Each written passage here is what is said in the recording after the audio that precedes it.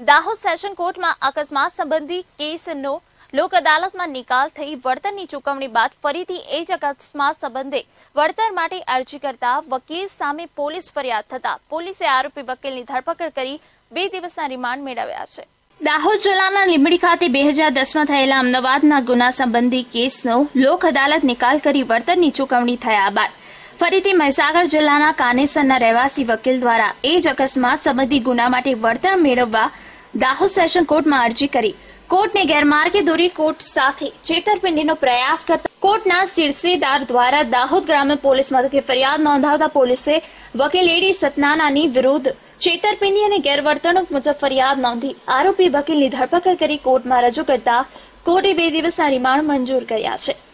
ગત તારીખ ચૌદ અગિયાર બે હજાર અઢારના રોજ ખોટા દસ્તાવેજો ઊભા કરી બે હજાર દસમાં થયેલ અકસ્માતના કિસ્સામાં એક વખત વળતર મળી ગયા બાદ ફરીથી તે મેળવવા માટે નામદાર સેશન કોર્ટ દાહોદનાઓને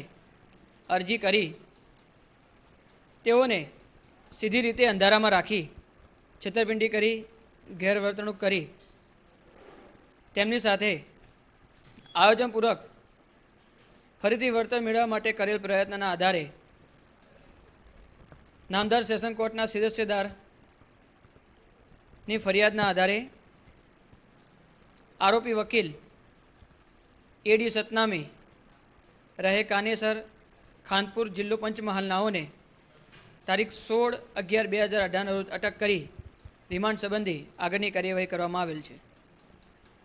દીપેશ દોશી સાથે લાઈવ ગુજરાત ન્યૂઝ દાહોદ.